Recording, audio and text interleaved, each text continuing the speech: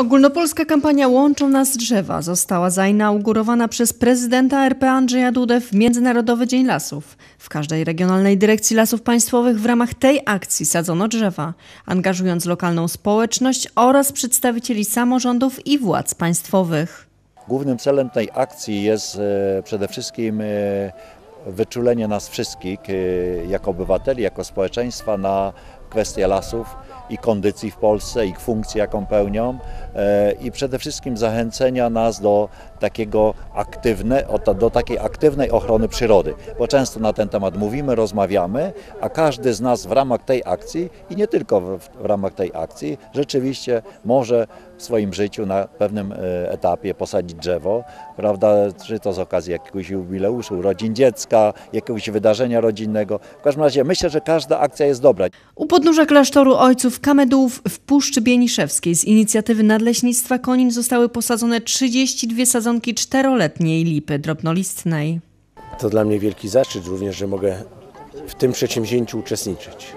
Tutaj na ziemi konińskiej, bieniszewskiej.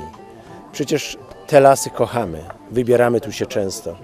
I lasy państwowe to dobro narodowe, które powinniśmy szanować, pielęgnować i oczywiście wspierać. Nigdy nie występować przeciwko lasom, bo wszyscy mieszkańcy możemy z tych dóbr korzystać i korzystamy bo widzieliśmy to nawet w tym trudnym czasie pandemii. Chcieliśmy wyjść, chcieliśmy y, oddychać świeżym powietrzem i dlatego świeże powietrze, jak i drzewa są nam potrzebne. I dlatego piękny, piękna idea, y, którą, którą rozpoczął pan prezydent i dzisiaj kontynuujemy Aleją Lipową. Zasadziliśmy, która będzie tutaj na wieki. Puszcza Miniszewska ma to do siebie, że ma charakter i tych drzew tu może nie brakuje, ale myślę, że te nowe drzewa, te lipy miododajne dodadzą charakteru i, i podniosą rangę. Poza tym te drzewa rosną bardzo długo. Myślę, że następne pokolenia naszych dzieci i wnuków będą doceniały to, że kiedyś te drzewa mogliśmy posadzić. Y, Ja jestem w ogóle fanem tej puszczy. Y, Nie ukrywam, że bardzo często, jeżeli szukam spokoju, re- relaksu, przyjeżdżam nad puszczę, przyjeżdżam sobie nad staw, który tam jest. Przepiękna przyroda, dzika, y, taka, których naprawdę w warunkach miasta trudno znaleźć i, i uważam, że jeżeli ktoś tylko może i ma możliwość, powinien tutaj przyjeżdżać, zwiedzać to miejsce. Miałem zaszczyt dzisiaj e, posadzić drzewo, aleję lipową, z czego się bardzo cieszę, gdyż jest to na długie, długie lata pamiątka, ale też przyjazna środowisku, a przecież o to chodzi, żeby między nami było jak najwięcej drzew i otaczającej nas przyrody, jak najzdrowsze środowisko naturalne. Myślę, że bardzo fajne akcje są też e, z uczniami w szkołach, bo jak od najmłodszego wieku się wpoi, że przyroda jest bardzo ważna, dbanie o ochronę środowiska, to potem zostaje nam to na całe życie.